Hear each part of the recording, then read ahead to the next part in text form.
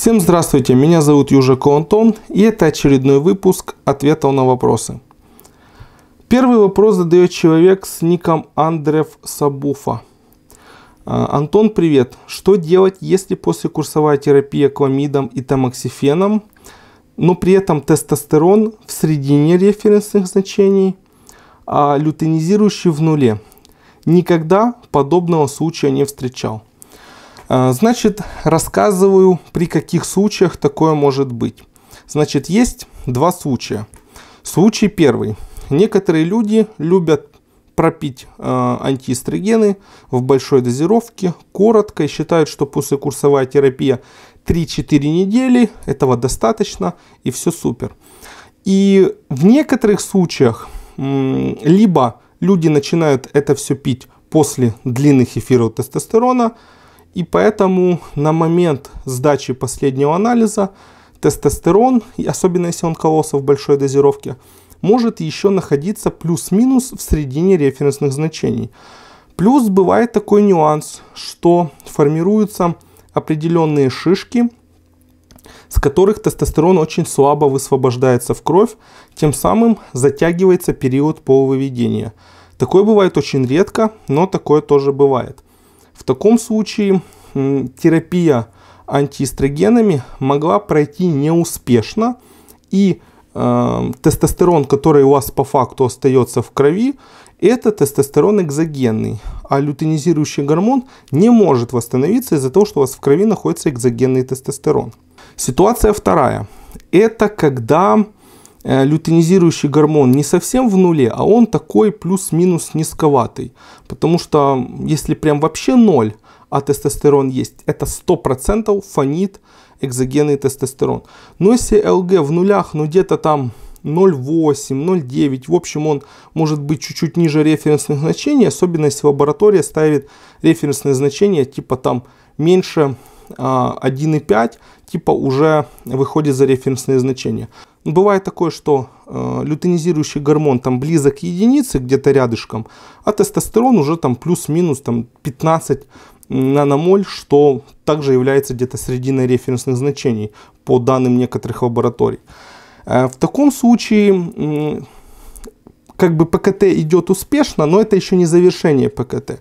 Поэтому необходимо просто продлевать ПКТ еще там 3-4 недели, может даже 2 недели, и лютонизирующий повысится, и тестостерон уже станет выше, чем средняя граница референсных значений. Вопрос задает Лешка просто. Антон, здравствуй. Интересует тема про перезапуск гормоналки при тяжелом восстановлении. Какие дозировки, с какой периодичностью?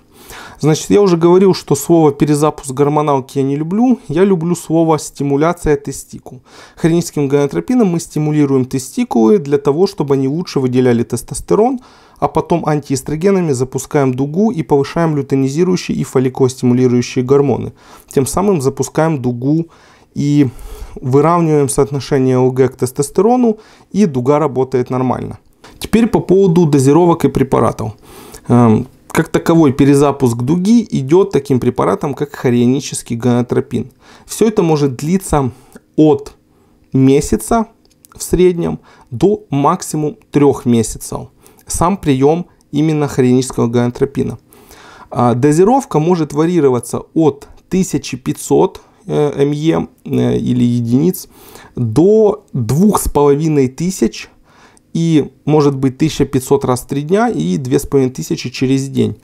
Э, сначала начинается какая-то такая плюс-минус усредненная дозировка, и потом по динамике надо смотреть. В некоторых случаях динамика не очень хорошая, в таком случае идет длительный прием хронического гонотропина и дозировка повышается. И примерно, когда уровень тестостерона уже стабилизировался, это значит, что тестикулы уже работают нормально. И в таком случае необходимо уже переходить на антиэстрогены. Поэтому м, говорить про дозировки и про продолжительность очень-очень сложно, так как они имеют очень большой разброс. Там от трех от месяца до трех, от 1500 раз в три дня до двух с половиной через день. В общем, разброс идет очень большой. И всегда дозировка подбирается индивидуально, исходя из динамики лечения. Вопрос задает Чуб Янгус. Спасибо, Антон, очень полезный выпуск получился. Кстати, никак, никак не пойму одну вещь. Несколько вопросов по теме. Вопрос первый. Это нормально, если, допустим, колется хронический гонотропин на курсе – по правильной схеме. Но есть ощущение, что тестикулы уменьшились в размерах от обычного. Надо ли по этому поводу э, истерить и увеличивать дозировки ХГЧ или частоту приема. Значит, по поводу размера тестикул я говорил сто раз. Не надо вообще трогать свои яички, вы никак на ощупь вообще там ничего не поймете. Это во-первых. Во-вторых, размер яичка больше меняется в зависимости от сперматогенеза. Когда сперматогенез происходит нормально, количество экулята увеличивается, то, количество, то размер яичка может меняться. Если мы говорим о уровне тестостерона и клетках, которые выделяют уровень тестостерона, они занимают такое мизерное количество места, что даже при полной атрофии, э, именно атрофии за счет не выделение тестостерона, то в таком случае размер яичка никак не, поменяется. Поэтому ХГЧ колется по анализам, а не по щупанию яичек. Вопрос второй. Зависит ли дозировка ХГЧ от массы тела? Если да, насколько и как правильно рассчитать? Дозировка ХГЧ не зависит от массы тела. Вопрос третий. Зачем делается перерыв на курсе неделя между приемом ХГЧ это связано с выработкой антител или потерей чувствительности к нему. Можно ли, ли без перерыва в неделю его колоть? Значит, э, по поводу перерыва, этот перерыв был эм, доказан эм, Майком Скали. Это эндокринолог мирового уровня, который очень-очень давно работает э, со спортсменами, с хроническим гонотропином и тому подобное. Да, это связано с ухудшением чувствительности клеток к хорионическому гонадотропину. Так как хорионический гонадотропин является пептидным гормоном, и у него есть свои э, рецепторы, ухудшаются рецепторы, ухудшается чувствительность, поэтому и делаются перерывы в приеме ХГЧ. Значит, четвертое. Если, вопрос на, если ответ на вопрос 3 «да», может быть потеря чувствительности, тогда вопрос, как распознать потерю чувствительности и что с этим делать.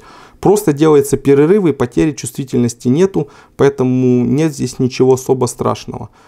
Колите просто по четкой схеме, и никак вы это не сможете отследить, эту потерю чувствительности.